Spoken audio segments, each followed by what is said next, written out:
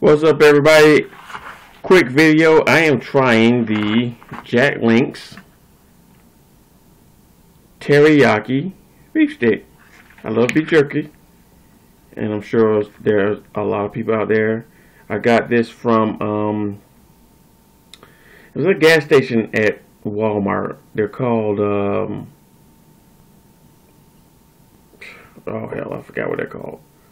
They're called something. Whatever. If you have a Walmart and have a um, gas station with it, it's either the wall. The, the it's called something Murphy. That's what it is. Murphy. That's where I got it from. Murphy Gas Store. So, um, gonna break this open and give it a taste and tell you how I like it. And this is how it looks.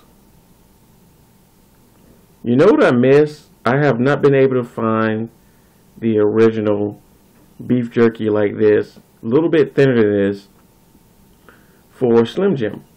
It's like they only have just that regular beef stick, but I'm going to give it a try.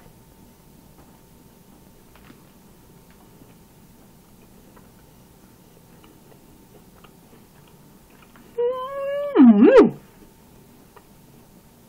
Delicious. This is great. I love it. I'll buy it again. Scale 1 to 10. Jack Links for this teriyaki beef stick. You get a 10, baby. This is great. I will be going back and I will be getting some more.